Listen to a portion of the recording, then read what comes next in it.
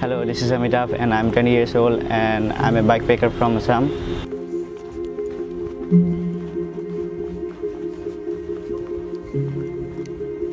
When I was a kid, uh, I watched a news where two foreigners are coming into Assam. Uh, they were actually exploring uh, with their bicycles, uh, with all their settings.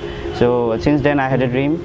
Initially I had no time, but uh, somehow I, uh, I could manage to get some time and so that's why I'm, I'm doing this.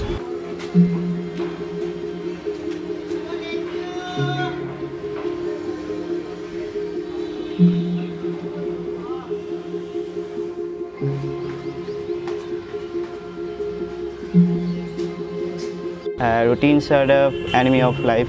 I do I do think so because from my uh, point of view uh, I don't like routines so that's why I want to go for exploring and cycling all around the world. I, I, I want to learn from my experiences not from by uh, studying or reading this kind of uh, this kind of things. Actually, uh, in this year 2019, I wanted to do an international tour, bike tour. Actually, uh, basically, I want to visit Myanmar.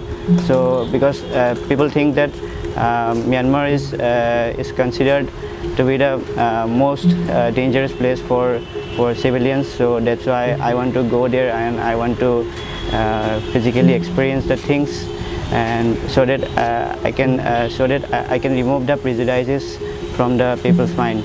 Initially, my parents were not allowing me to do this kind of things uh, because this is a completely unique thing, uh, especially in Assam. So, but uh, my mom was completely against of it, uh, but my dad and my brother was a little bit supportive.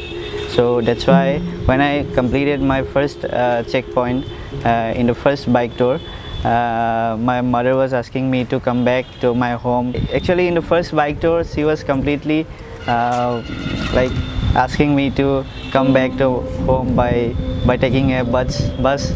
So, so uh, but uh, nowadays uh, she is fine with this. So, Amitabh. Hello, my name is Amitabh and I'm 20 years old and I'm from Assam, a bike packer. Uh, no, cut, cut, cut. Ah, it's okay.